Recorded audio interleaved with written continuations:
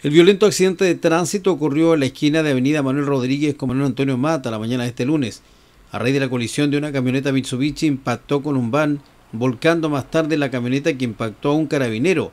Este hacía servicio de tránsito en dicha arteria y quien resultó con graves fracturas, al igual que el conductor de la camioneta volcada.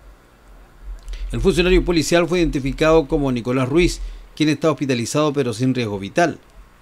Carabineros de la primera comisaría informó que el accidente ocurrió a eso a las 7 y media de la mañana de este lunes, cuando la policía regulaba el tránsito en la intersección de Avenida Manuel Rodríguez con Manuel Antonio Mata. Por razones que se investigan, se registra esta violenta colisión.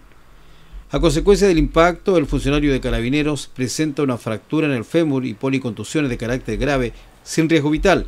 Sería intervenido quirúrgicamente en tanto uno de los conductores también presenta fracturas graves. Tras este accidente de tránsito, Carabineros de la primera comisaría debió realizar varios desvíos del el tránsito vehicular para aislar el sitio del suceso con el fin de que personal especializado de la CIAT pudiese trabajar en el lugar.